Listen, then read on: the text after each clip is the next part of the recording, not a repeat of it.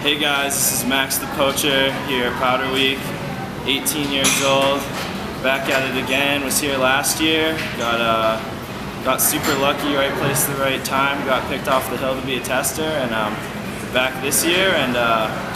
yeah, ready to shred some powder today.